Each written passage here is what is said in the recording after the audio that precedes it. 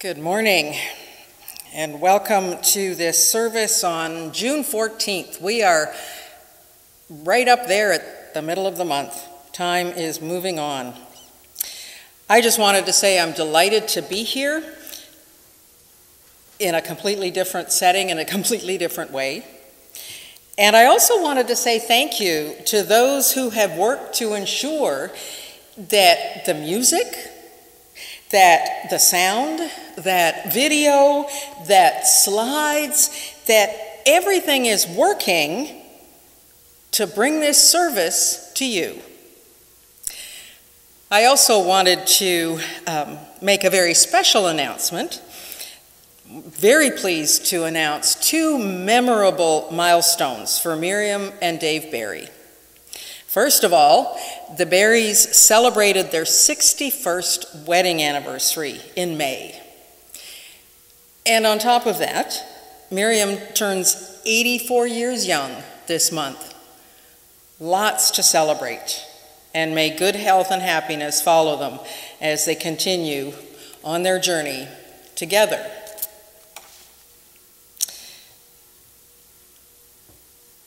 There is none like you, O Lord, nor are there any works like yours. All the nations you have made shall come and bow down before you, O Lord, and shall glorify your name. For you are great and do wondrous things. You alone are God. Let us worship God. Let us join together in singing our first hymn, All People That on Earth Do Dwell, number 65.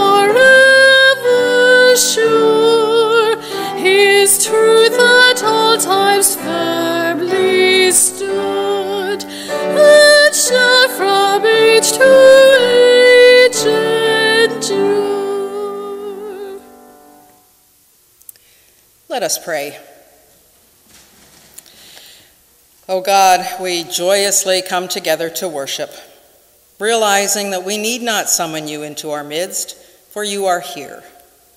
We need not call you into the secret places of our hearts, for you are there. We need our eyes of faith to be opened that we may see you, our ears to be unstopped that we may hear you, our minds to be sensitive that we may know you, our hearts to be tender, that we may receive you. Grant each one a blessing, O Lord, as each has need, in the name of Jesus Christ our Lord. Merciful God, we confess that we have sinned against you in thought, word, and deed, by what we have done and by what we have left undone. We have not loved you with our whole heart and mind and strength. We have not loved our neighbors as ourselves. In your mercy, forgive what we have been. Help us amend what we are and direct what we shall be, so that we may delight in your will and walk in your ways to the glory of your holy name. Through Christ our Lord, we pray. And we continue to pray, saying, Our Father, who art in heaven, hallowed be thy name. Thy kingdom come. Thy will be done on earth as it is in heaven. Give us this day our daily bread, and forgive us our debts as we have forgiven our debtors. And lead us not into temptation, but deliver us from evil. For thine is the kingdom, the power, and the glory, forever and ever. Amen. We have been made holy through the sacrifice of the body of Jesus Christ, once for all. This is God's gospel promise to forgive our sins, give us eternal life by grace alone, because Christ's one sacrifice finished on the cross. Thanks be to God. Amen. We are going to sing our hymn, Lord, Listen to Your Children Praying, 449.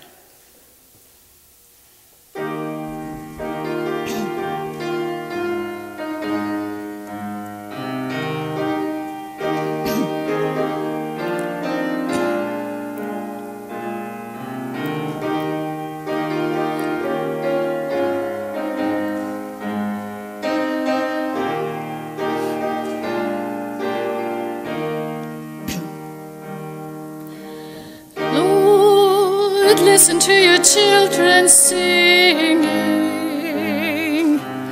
Lord, send your spirit in this place. Lord, listen to your children singing. Send us love, send us power, send us grace. Listen to your children kneeling. Lord, send your spirit in this place. Lord, listen to your children kneeling. Send us love, send us power, send us grace.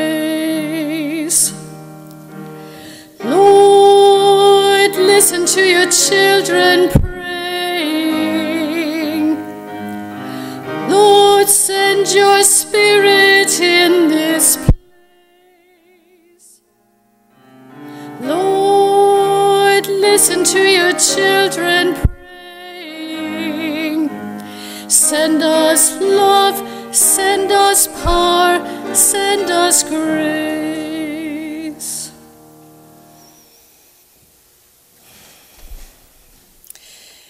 This is a time in the service that I always love. And today it's a little bit different. I have sometimes been in congregations where I have done a children's conversation with the adults, but this is definitely a little bit different. And today I wanted to talk about something that maybe um, would have been better when I actually had people in place. Uh, you may not be able to see. This is um, a bungee cord, or part of a bungee cord. And we all know how good bungee cords are and how strong they are and, and all the things that you can do with bungee cords. But this one um, was actually, it was actually cut. It didn't break, it was cut. And then I started to look at what makes up the bungee cord. And it is made up of a whole lot of little pieces of elasticy stuff that will actually snap. Each piece is not really that strong on its own. And I could stand here and probably snap every single one of them. Which would then show me a little bit of concern if I was wanting to use this for something where it needed strength. Because there just isn't in one of these little black pieces. But when you put them all together and you wrap them together, I can't. I can't make it snap. And I thought this was really, really intriguing because, and especially maybe today and in our world today, if we try one by one, just by ourselves, just me by myself, there's probably not a lot I can do. I can do my part.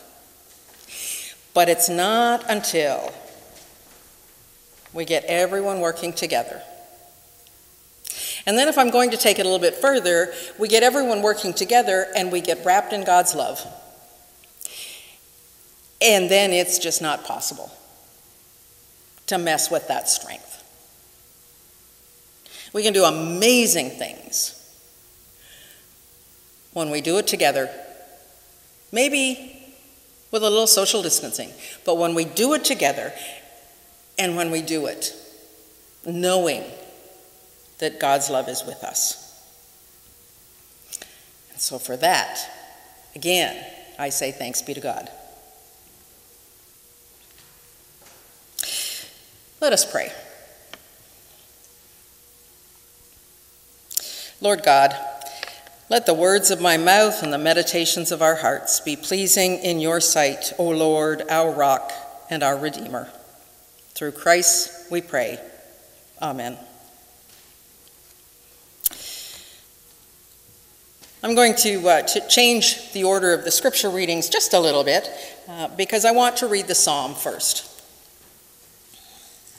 This is Psalm 100, a very impressive psalm, if I do say so. Psalm 100 Make a joyful noise to the Lord, all the earth. Worship the Lord with gladness, come into his presence with singing. Know that the Lord is God. It is he that made us, and we are his. We are his people and the sheep of his pasture. Enter his gates with thanksgiving and his courts with praise. Give thanks to him, bless his name. For the Lord is good, his steadfast love endures forever, and his faithfulness to all generations. And then turning in the Old Testament and reading from Exodus chapter 19, verses 2 to the first part of verse 8. Exodus chapter 19. And I am reading all of these readings from the New Revised Standard today. So, Exodus 19, starting in verse 2, says They had journeyed from Rephidim, entering the wilderness of Sinai, and camped in the wilderness. Israel camped there in front of the mountain. Then Moses went up to God the Lord called to him from the mountain, saying, Thus you shall say to the house of Jacob and tell the Israelites, You have seen what I did to the Egyptians, and how I bore you on eagle's wings and brought you to myself. Now, therefore, if you obey my voice and keep my covenant, you shall be my treasured possession out of all the peoples. Indeed, the whole earth is mine, but you shall be for me a priestly kingdom and a holy nation. These are the words that you shall speak to the Israelites. So Moses came, summoned the elders of the people, and set before them all these words that the Lord had commanded him. The people all answered as one Everything that the Lord has spoken, we will do. And then turning to the New Testament and reading in Matthew's account of the gospel in chapter 9, beginning at verse 35 and reading until verse 8 in chapter 10. So, Matthew 9, beginning at verse 35. Then Jesus went about all the cities and villages, teaching in their synagogues and proclaiming the good news of the kingdom, curing every disease and every sickness. When he saw the crowds, he had compassion for them, because they were harassed and helpless like sheep without a shepherd. And he said to his disciples, The harvest is plentiful, but the laborers are few. Therefore, ask the Lord of the harvest to send out laborers into his harvest. Then Jesus summoned his twelve disciples and gave them authority over unclean spirits to cast them out and to cure every disease and every sickness. These are the names of the twelve apostles. First, Simon, also known as Peter, and his brother Andrew, James, son of Zebedee, and his brother John, Philip and Bartholomew, Thomas and Matthew the tax collector, James, son of Alphaeus, and Thaddeus, Simon the Canaanite, and Judas Iscariot, the one who betrayed him. These twelve Jesus sent out with the following instructions Go nowhere among the Gentiles, and enter no town of the Samaritans, but go rather to the lost sheep of the house of Israel. As you go, proclaim the good news. The kingdom of God has come near. Cure the sick, raise the dead, cleanse the lepers, cast out demons. You received without payment, give without payment. Let us hear what the Spirit is saying to the church. Thanks be to God for this word to us today.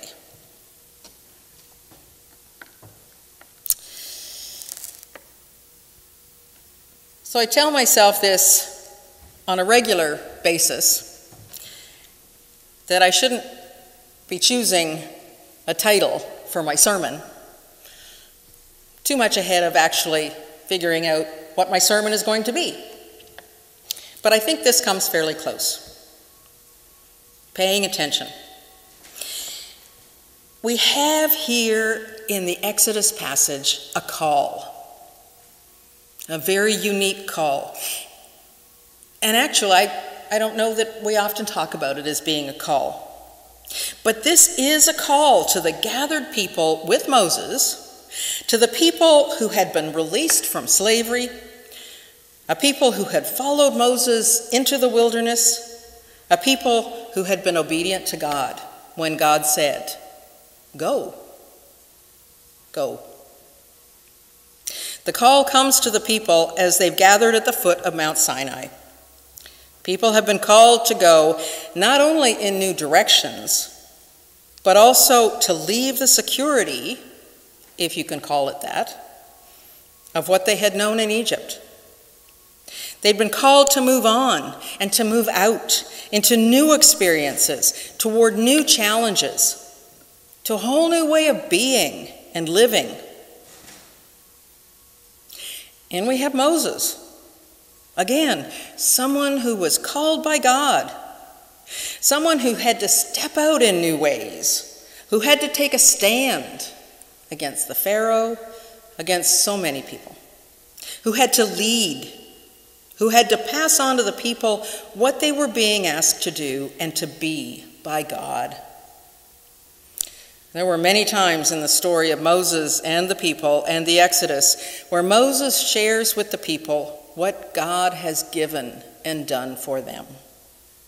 And there are many instances in the story of Moses and the people and the Exodus where the people push back.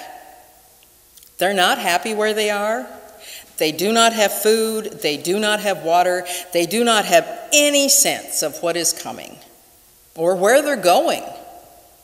And so they do push back. But also, many times, they keep coming back to what God requires of them.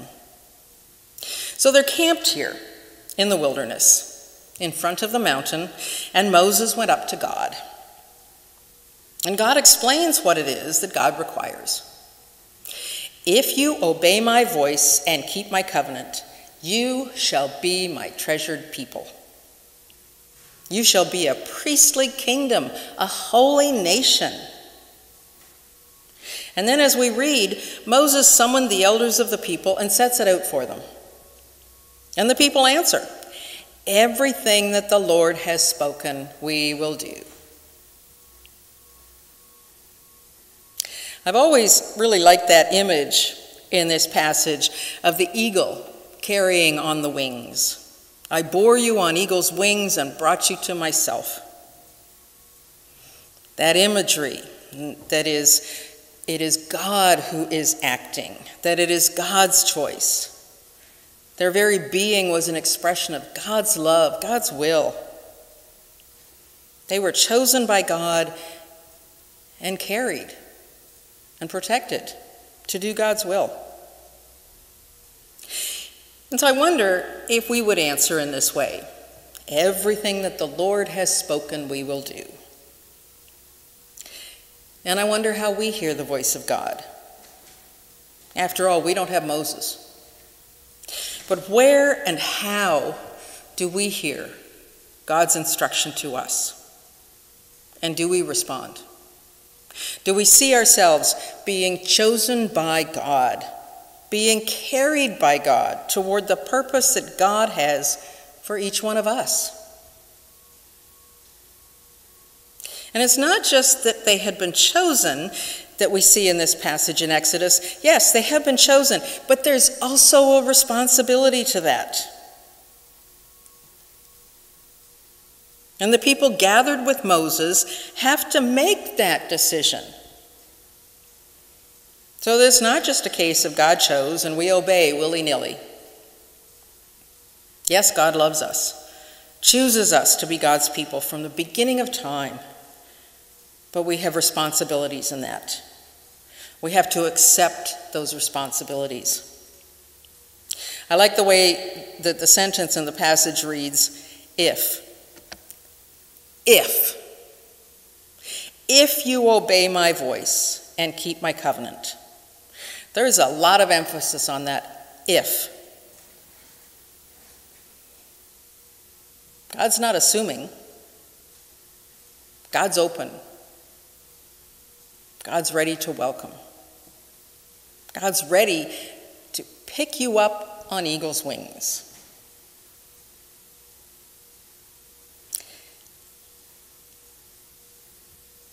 But we have to accept. We have to take that responsibility. And the people did respond in the affirmative. They said, yes, definitely. But we know, because we can read on further, we know that was a promise that they made that it was very hard to keep. There were many occasions on their journey when they faltered, where they had issues with God and with Moses, where they had difficulties with what they were being asked to do and to be, when they wanted a physical presence, a golden calf. This is not a response that was at all easy for them to keep. And as we know, the story is much bigger.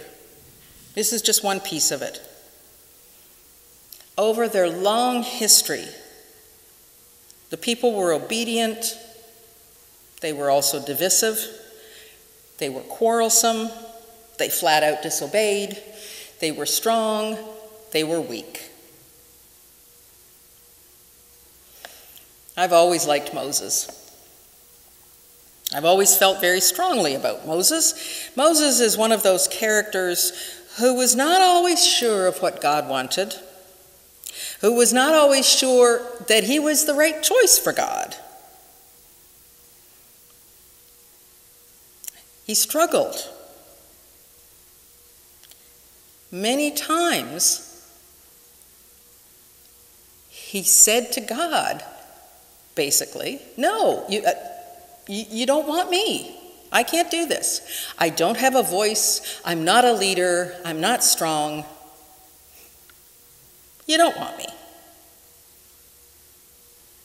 So I guess if you look at it in, in one way, Moses was just very human. And God does not only call those who are strong, God does not only call those who are prepared, God does not always call those who look right. God does not always call those whom God knows will say yes. We have in our psalm today words that show exactly how amazing it is to be chosen by God, to be part of God's creation, to know that the Lord is God and that the Lord is good, that God is faithful. Can we say the same? So, how do we respond? Well, It's through Christ. We're shown how to respond to that love, to that faithfulness.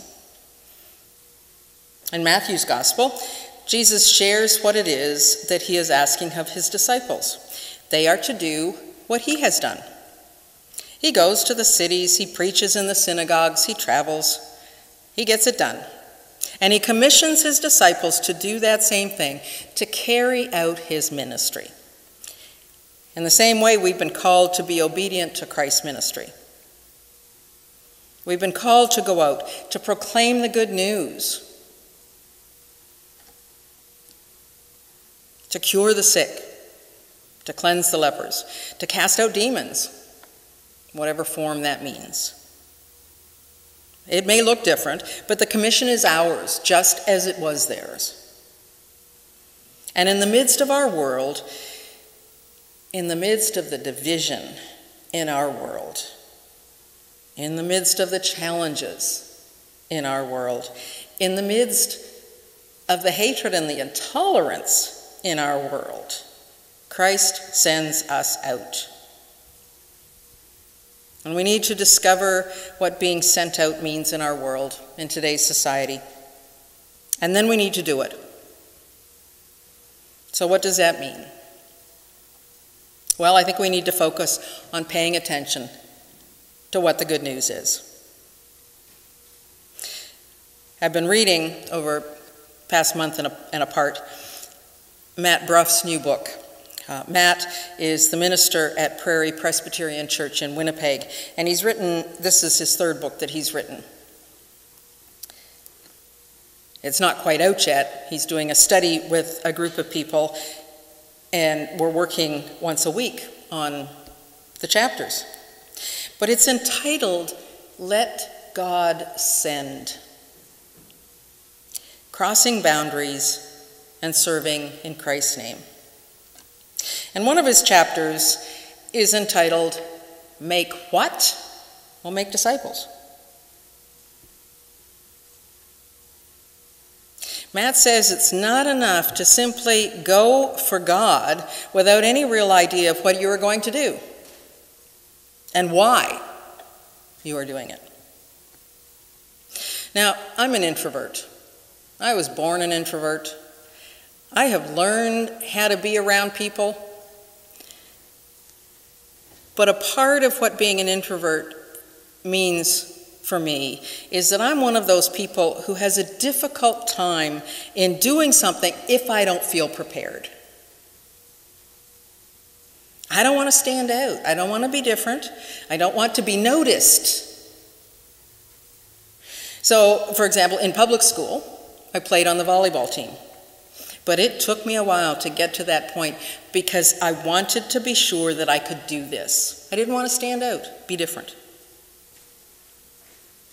Now, I know that wasn't in my head consciously at the time, but certainly looking back, I know that's what it was all about.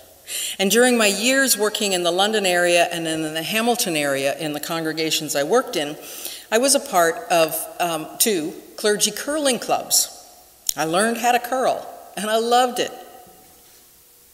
But again, it took me a while to get comfortable with it because I wanted to know how to do it right.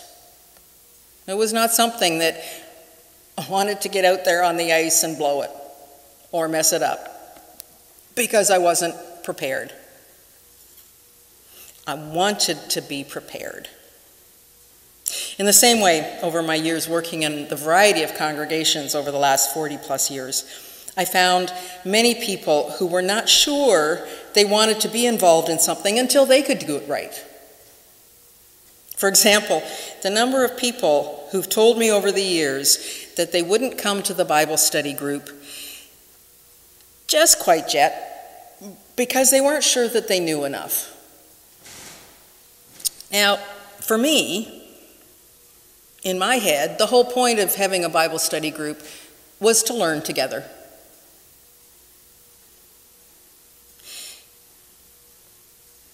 I often found also in working with children and teaching and leading and recruiting, those that I thought would be excellent teachers and leaders, again, sometimes said to me that they weren't sure that they knew enough yet.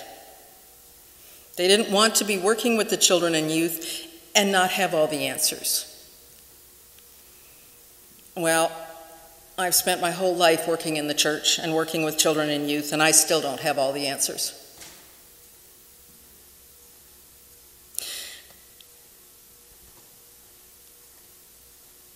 So, back to that make what? Make disciples. And who's supposed to be doing that? Well, as I was reading Matt's book, my mind went back to my first congregations in Sarnia, Ontario.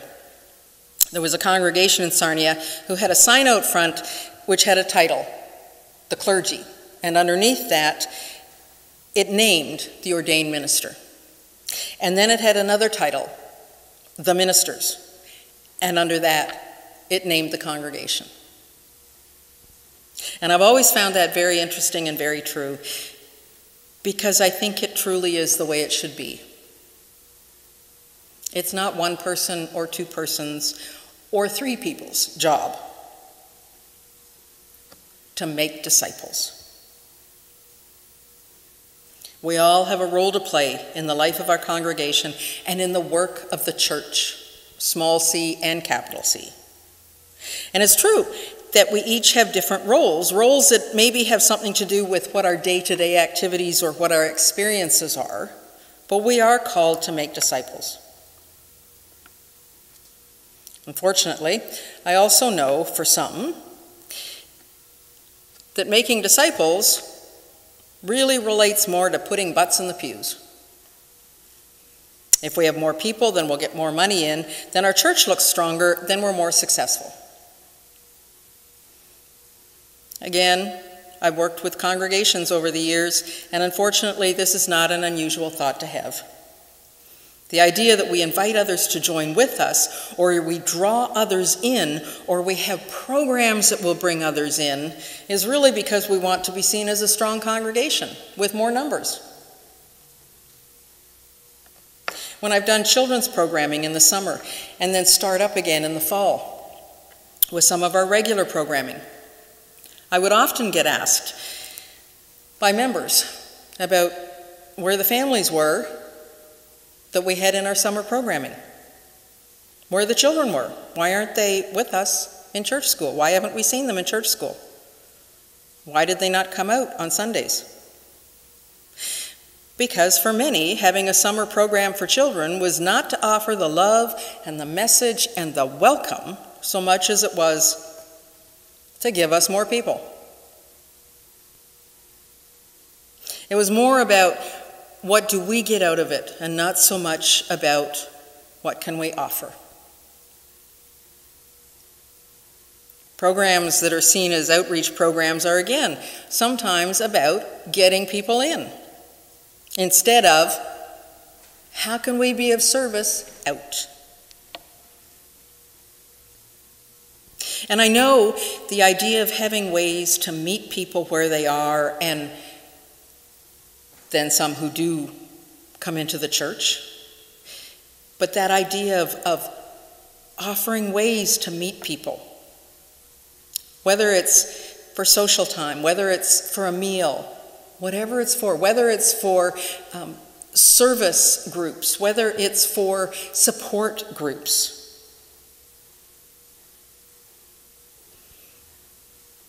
Sometimes we get people who are then a part of our congregation because they come in through that side door or that back door, as it were. But that shouldn't be the reason why we hold that program or why we have that service or why we offer that.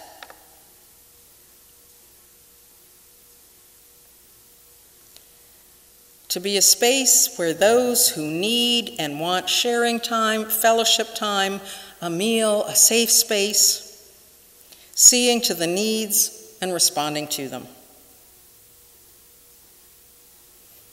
A past minister that I worked with, or a minister in the past that I worked with, always referred to this kind of thing as love with skin on.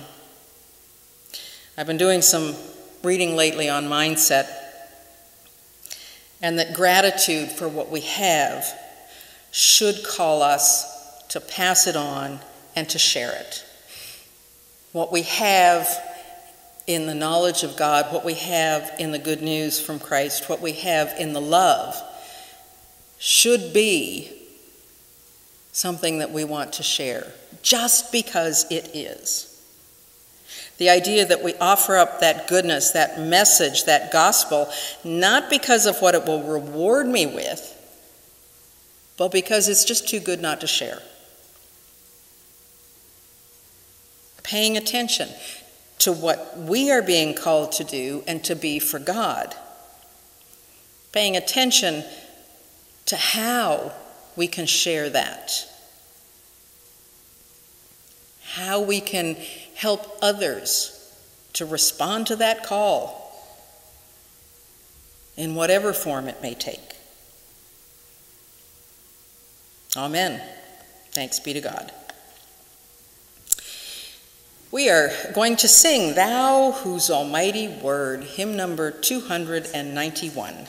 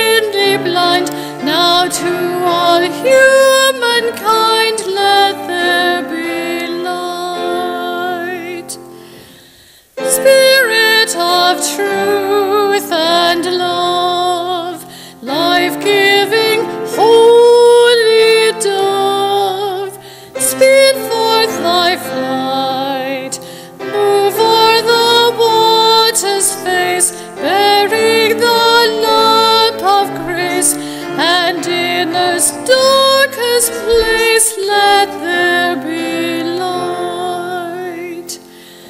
Blessed and holy three, glorious Trinity, wisdom, love, might, as ocean's tide, in pride through the world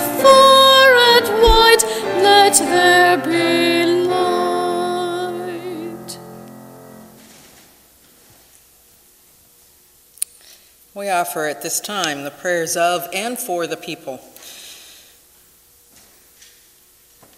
And for all of you at home, you offer your prayers, your specific prayers. Let us pray together. We praise and thank you, O God, that you have fed us with your word. And we offer to you our prayers for all peoples, grateful for your gifts mindful of the communion of your saints. God of compassion, we remember before you the poor, the sick, and the dying, those who are struggling with COVID 19 issues. I pray for all who are lonely, the victims of war and injustice and inhumanity, and all others who suffer from whatever their sufferings may be called. O Lord of providence, you hold the destiny of the nations in your hand, and we pray for our country. Inspire the hearts and the minds of our leaders that they, together with all of our nation, may first seek your righteousness, your goodness, your love, so that order, liberty, and peace may dwell with your people. Oh God, you are the creator, and we pray for all nations and all peoples. Take away the mistrust and the lack of understanding that divides your creatures, your creation. Increase in us the recognition that we are all your children. And we pray especially at this time for all those who are in difficulty. We pray for those who suffer because of the color of their skin. May we truly learn what it means to love. O Savior God, look upon your church and its struggle here upon the earth. Have mercy on us in our weakness. Bring to an end all the divisions, scatter our fears. Increase our courage, strengthen our faith. Inspire us to be witnesses to all peoples, even to the ends of the earth. You are the author of grace, you are the God of love. Send your Holy Spirit's blessing to all your children here present, at home, far away, in all parts of your created world. And keep our hearts and thoughts in Jesus Christ, your Son, our only Savior. Amen. We are going to conclude. Our concluding hymn is number 755 Go ye, go ye into the world.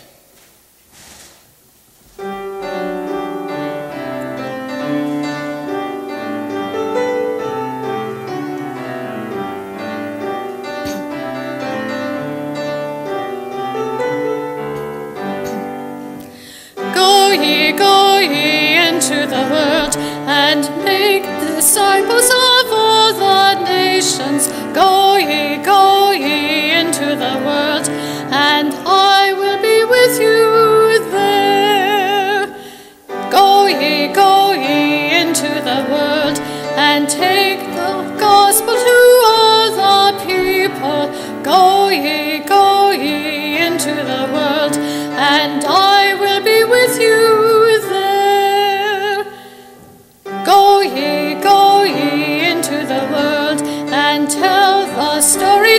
all believers. Go ye, go ye into the world, and I will be with you there.